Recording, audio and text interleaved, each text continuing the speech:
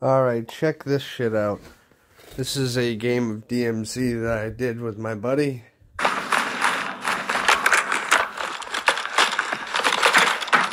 they call out taking the squad to our left. I'm checking it out. Trying to hit those snipes. Got the Victus.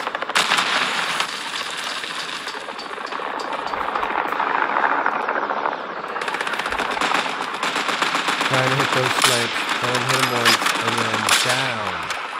So,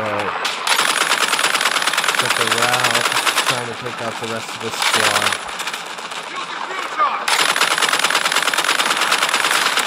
Take him out home. And then Victus again. Bah! Done for. So the clip cuts off before you see me finish him, but I'm telling this guy, hey, this was your teammate because we let him get on our team. I said, hey, revive your Don't worry, teammate. I got you.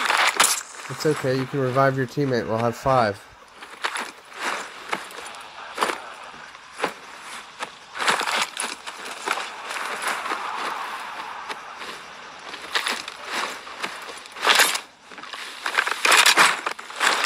and then immediately, he was so mad.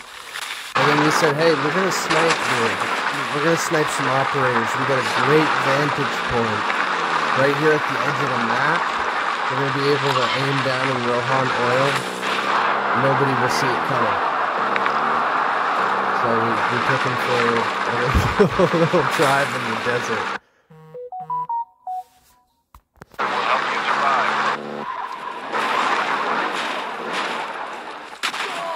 And then boom.